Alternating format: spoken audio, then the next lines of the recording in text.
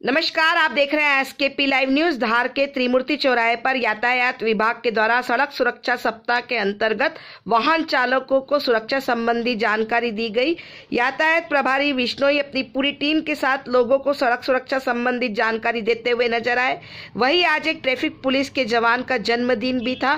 त्रिमूर्ति चौराहे पर ही केक काटकर जन्मदिन मनाया गया। देखे खबर एसकेपी लाइव न्यूज़ मदर हमारे लिए।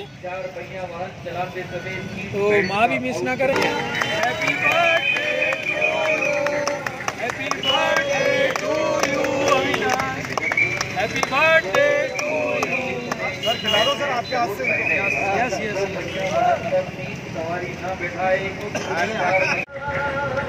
अब मैं अविनाश से अनुरोध करूँगा कि हमारे जितने मीडिया पर्सन यहाँ आए हैं सबको अपने हाथ कम नहीं लग रहे भाई